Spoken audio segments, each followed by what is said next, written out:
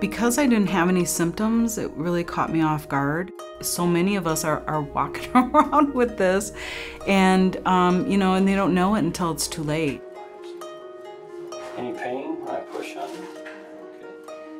I'm a gastroenterologist and hepatologist evaluating and treating patients with liver disease, predominantly those with non-alcoholic steatohepatitis or NASH. It's the most common liver disease in the United States and now even throughout the world. As an endocrinologist, I see a lot of patients with type 2 diabetes, and these patients are at very high risk of fatty liver disease. Fatty liver disease is a silent disease in general, and people may not know they have it. The excess energy stored in the liver doesn't harm the liver. However, in about 25% of cases of patients with fatty liver, it can lead to damage, and that's what we call the hepatitis, which is inflammation of the liver. Patients with diabetes are at much higher risk of having fatty liver disease. Um, these are patients that are very insulin resistant, which is at the core of the pathogenesis of fatty liver disease. They have very high risk not only of liver morbidity and mortality, but also of cardiovascular disease as well. So it's a very complex disorder that really needs multifactorial approaches to its treatment.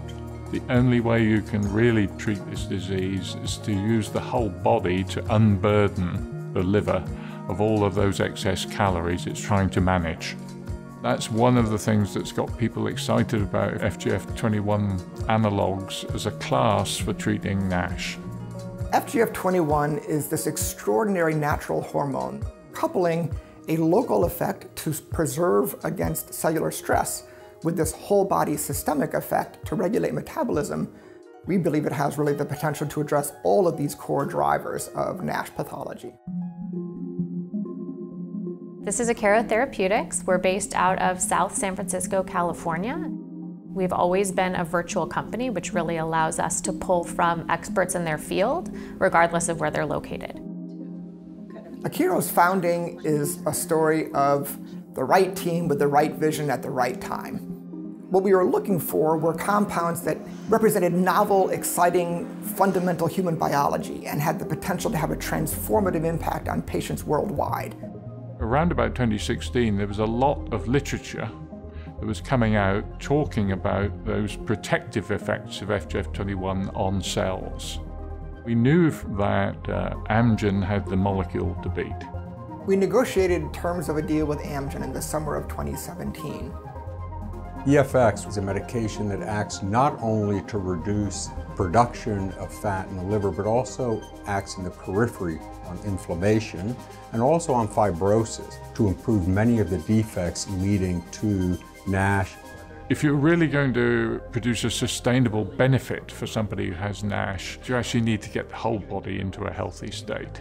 The exciting thing about efruxifermin is it's combining those good effects on whole body metabolism with good effects in the liver. Where we're able to develop a compound that can treat the person as a whole, that's the holy grail, and that's the target of what we're trying to do in drug development for NASH.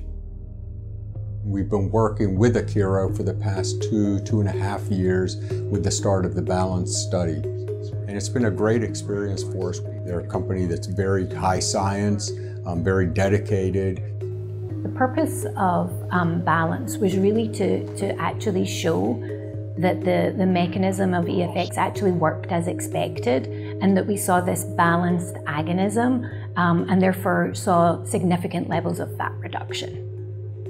Amazingly, with 16 weeks of therapy, we're able to defat the liver in a significant way in the majority of patients.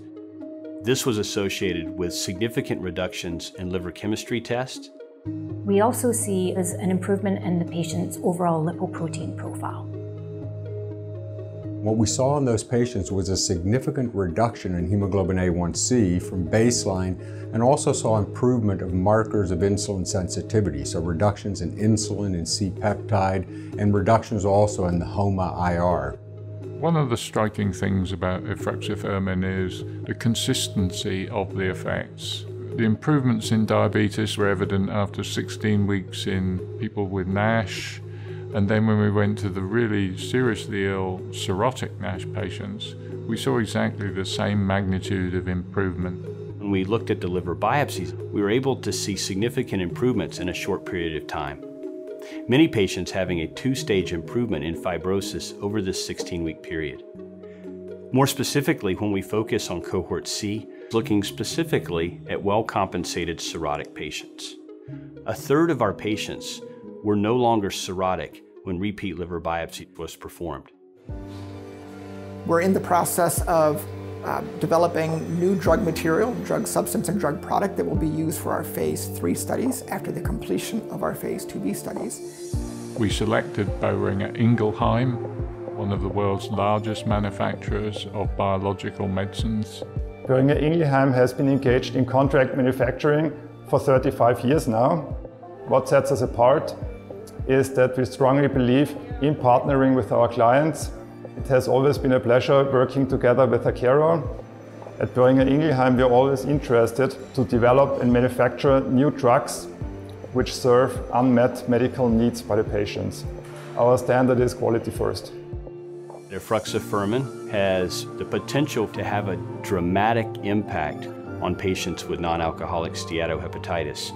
I can't wait to see if we can confirm these results and uh, move forward with the drug development with this class of medication. It isn't a good situation. I'm not in a good place.